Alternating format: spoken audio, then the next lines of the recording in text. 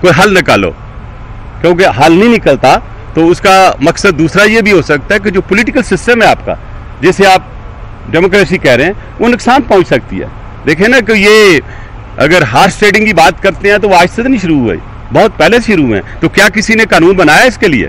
There is no law तो बनाए horse trading के लिए कानून, बजाय जबानी बात करने के, आए सामने, बैठे मिलके कंसेंसस के साथ आए। मैंने उस पर भी कहा था कि जो प्रेसिडेंट ने रेफरेंस किया है, सुप्रीम कोर्ट में वो गलत किया है। और मैंने चैलेंज करके कहा था कि मुझे कोई चैलेंज करके मुझे गलत साबित कर दे। अगर आपका एक matter is pending in the national assembly जो कि उन्होंने इसी सिलसिले में किया था कि ओपन वोटिंग होनी चाहिए।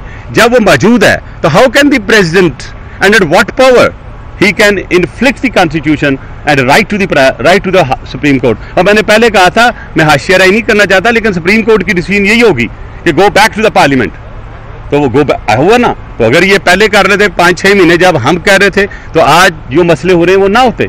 तो मैं ये समझता हूँ कि पाकिस्तान की ज़रूरत इस वक्त मिल बैठने की है। और अगर गलतियाँ हुई हैं, इमरान खान से तो वाइट नज़र ही कम एंड से सॉरी टू द नेशन से सॉरी टू दी अपने जो अपोजिशन है। बेसिकली पॉलिटिकल लाइफ में ना कोई दोस्त होता है, ना कोई दुश्मन होता है। पॉलिटिक्स में सिर्फ़ पॉलिटिक्स होती है and I hope he follows the politics and जो जरदारी साहब ने बात की है, या बिलावल भट्टो जरदारी ने बात की है वो आपके सामने है। लीड उन्होंने किया पीडीएम को ये भी मैं आपको बता दूँ। बड़े सही तरीके से लीड किया उन्होंने। जो उन्होंने कंसेंसस क्रिएट की वो आपके सामने है। अब मेरा आने वाले वक्त में मैं अपने पाकिस्तान पीपल्स पार्टी का फ्यूचर बहुत अच्छा देख रहा हूँ इंशाल्लाह। And I am quite hopeful कि इंशाल्लाह हमारा future prime minister Bilawal Bhutto Zardari इंशाल्लाह होगा।